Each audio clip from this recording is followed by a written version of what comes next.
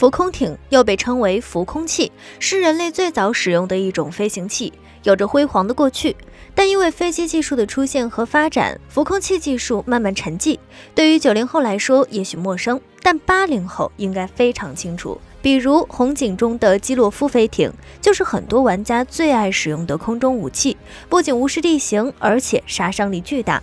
二零二二年五月中旬，中国自主研发的一款浮空艇“吉木一号”三型浮空艇。从海拔四千三百米的科考营地顺利升空，起飞后稳定以每分钟三十米的速度上升至九千零三十二米处，创造浮空艇新世界纪录。这个高度已经超过珠峰八千八百四十八点八六米的高度。是否达到极限，官方未明确说明。据小编了解。吉木一号三型总重量约二点六二五吨，体积为九千零六十立方米。如此巨大的浮空艇到底有什么用途？升到九千米以上又有什么意义？大家好，欢迎来到星球热点。国家大事从不缺席，舆论场中抽丝剥茧，聚焦独家中国资讯。点赞、订阅、加小铃铛，带你用不一样的视角读懂中国故事。吉木一号三型浮空艇搭载了三个舱，分别是控制舱、能源舱和载荷舱。其中，控制舱主要是控制飞行姿态和飞行动力，保障浮空艇能够顺利的飞行；能源舱主要存放能源，为浮空艇储备飞行所需的能源，如同汽车的油箱。载荷舱的观测仪器属于浮空艇的核心。用于同步记录从地表到九千米高空的大气组分数据和水汽传输过程。据了解，载荷舱测量数据包括大气、水汽稳定同位素、黑碳、粉尘、甲烷、二氧化碳等变化。吉木一号三型浮空艇为何在中国西藏升空呢？首先是起点高，起飞高度已经达到四千五百米。可以大大的节省能源损耗。其次，浮空艇起飞于青藏高原，目的是为了研究西风如何影响青藏高原的环境变化，并且为全球变暖背景下青藏高原水生态、人类活动链式变化应对策略的提出提供重要科学依据。根据科学家的介绍，吉姆一号三型浮空艇挑战观测高度海拔九千零三十二米，主要需要攻克三大难题。第一大难题：克服极端环境的变化。九千米的高度已经达到民航客机的飞行高度，在高空属于低压、缺氧、低温、高风速等环境，这对于浮空艇实现高空悬停是非常难控制的。第二大难题：材料问题。超高空飞行需要应对气候等不确定因素比较多，还将面对高强辐射。对此，本次首次采用自主研发、轻质、低密度。高强抗辐射的复合织物材料。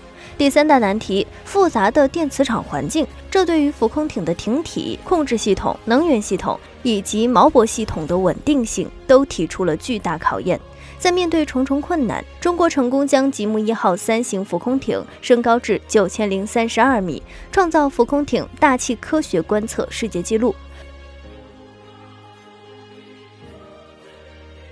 看到这里，有人可能就要问了：九千多米的高度，飞机、探空火箭都可以上去，天上不是还有卫星吗？他们都可以搭载科学仪器对高空中的大气状况进行观测，为什么还要费劲使用浮空器呢？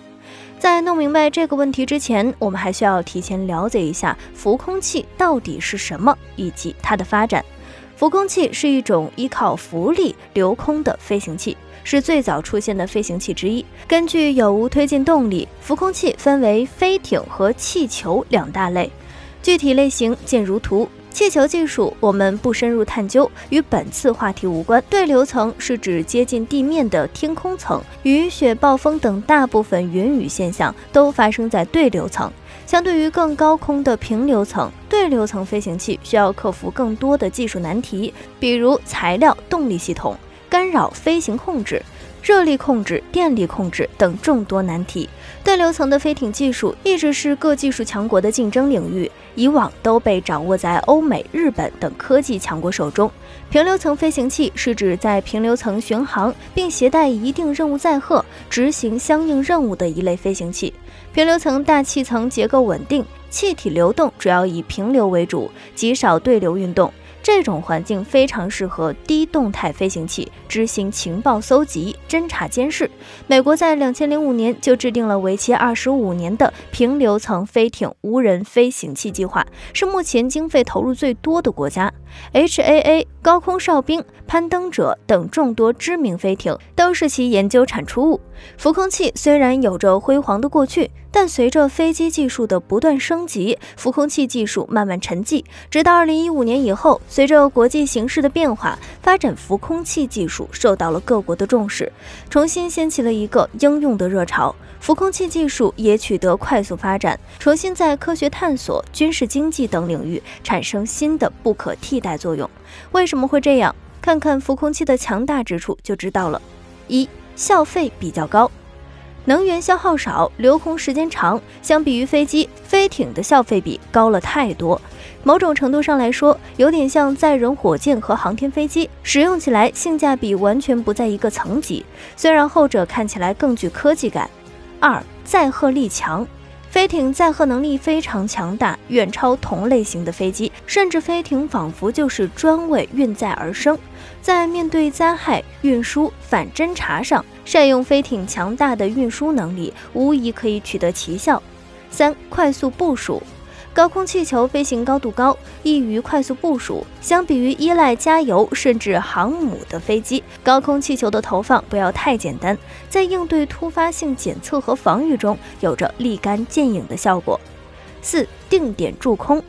对流层飞艇起降要求低，载荷能力大，机动性强，在必要的时候可以随时定点驻空。这对于很多飞机技术储备不足的国家来说是非常不错的选择。五续航，飞艇续航时间长，升空高度高，覆盖区域大，性价比之高，用想象力就可以完成估算。中国的浮空器技术经过了几十年的发展，不仅突破了西方国家的技术封锁，在很多方面还形成了自己的特点。吉木一号三型浮空器就是代表，它克服了极端环境。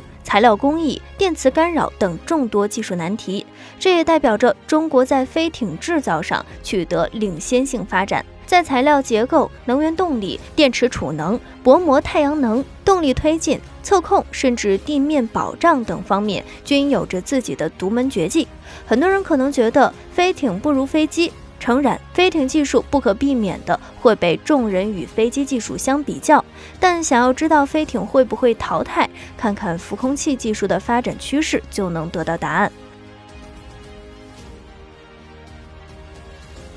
飞艇的最大优势就是续航，这是全世界任何航空器都无法比拟的巨大优势。比如欧洲空客的对流层飞艇，续航就达到了四十天以上，这是现阶段飞机技术所无法比拟的。而未来飞艇技术的发展也一定是放在续航和承载力上。如上所述，大型运输飞艇将是未来发展的一种趋势。这种超大型货物飞行比陆运和海运更具优势，而且一旦技术成熟后投入民用，甚至对传统交通都会产生剧烈影响，是一种非常有前景的运输方式。随着现代飞艇技术的不断发展，飞艇设备不断完善，飞艇的设施越来越齐全，舒适性也越来越高。在飞艇上搭载不同的电子设备，建立预警、探测、情报、侦察、指挥、控制等一体化的系统，已经是军用飞艇的一个重要方向。目前，国外公开发展的飞艇技术几乎都是有人驾驶，但从有人驾驶到无人驾驶的过渡，几乎是必然的选择，而且各。个国家在这方面的投入非常之大，飞艇的超级续航、超级载重，为无人驾驶提供了更多空间和想象力。飞艇起降阶段，由于质量大、飞行速度低、舵效差、操纵性不好，这是一直以来的难题。而解决飞艇的起降难，研发优秀着陆装置，实现微重停泊，是飞艇技术的一个重要方向。目前，中国正在往气动布局、结构材料、综合控制、新能源、动力推进系统等方面的平流层飞艇进行研究。一旦有所突破，将会弥补二十到三十千米乃至更高的临 近空间、一般飞机和卫星升空高度间的空缺。浮空器的研究到底会不会成为大国重器，甚至改变交通运输方式？目前各国均没有明确表示。但积极投入人力物力的研究，却没有一家科技强国被落下。幸运的是，这次我们起步就在头部位置。好了，今天的内容到这里就结束了。你觉得未来的飞艇技术会成为国之重器吗？欢迎在视频下方留言分享你的看法。最后，大家一定不要忘记点赞加订阅哦，这样既能回顾往期视频，又不会错过之后的精彩内容。那我们下期节目不见不散。